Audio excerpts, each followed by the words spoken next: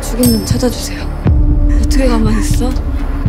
경찰은 수사를 안 하고 당신도 아무것도 안 하는데! 동훈이를 죽인 놈은 경찰이야.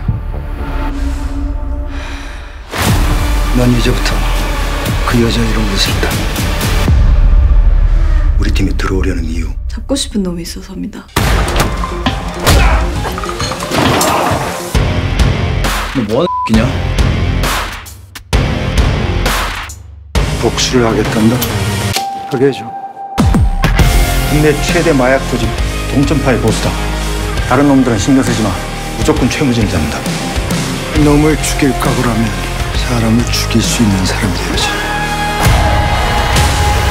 너는 아무것도 아니야. 증거는 제가 치웠습니다. 우리한테 사람 심어놓은 건 확실하네. 죽이 잡겠다고 미래도 이름도 다 버렸어! 지우가 왜 연락을 안 했을까요? 누굴 잡고 싶은지 모르겠는데 나랑 잡자. 일이 틀어지면 죽여야 됩니다.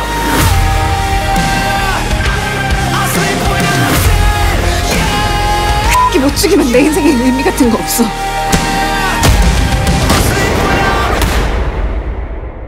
넌내 손에 죽는다.